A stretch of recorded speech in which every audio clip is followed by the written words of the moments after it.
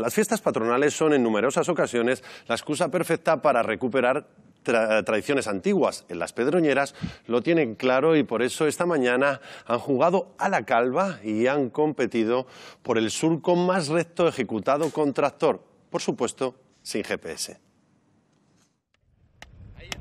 La capital mundial del ajo está en fiestas, como las celebran, por supuesto, encima de sus tractores. Es el tradicional concurso de arada. Hoy en las Pedroñeras nadie trabaja en el campo. Pues lo más seguro que no. ¿En qué consiste este concurso? Pues consiste en dejar lo más dentro posible, claro. El primero te ha tocado. El primero, el más largo. A ver si tenemos suerte. Aquí en este caso hoy está complicado. ¿Por qué?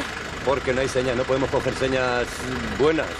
Tiene que ser a base de alguna mancha que sea más oscura. Con dificultad, pero con más de 60 años de tradición, se apuntan pequeños y mayores.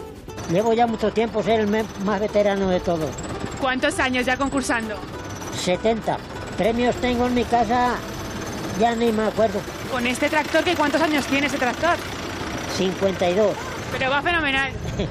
¿Cómo? Este ya me conoce a mí.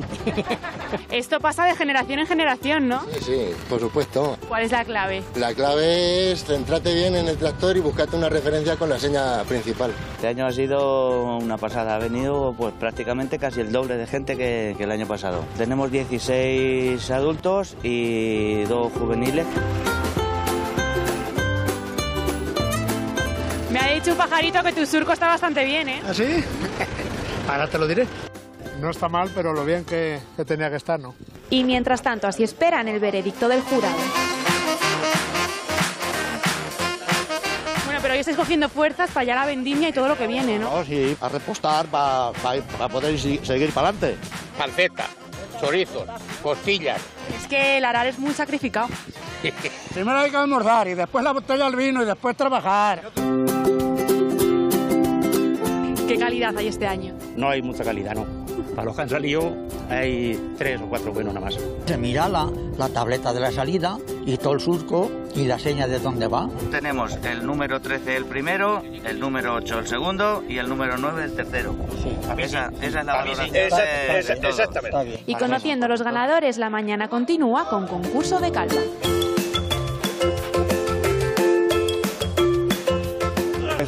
Concurso tradicional de hace muchos años donde lo que se consiste es dar en el trozo de madera con una piedra y lo más cerca posible. ¿Cuánto pesa la piedra? Está sobre esos 700 o por ahí.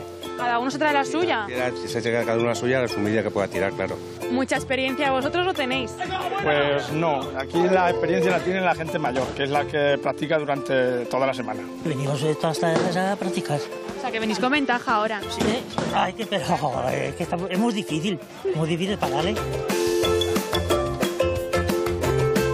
Tenemos 10 tiradas, 5 para allá y 5 para abajo.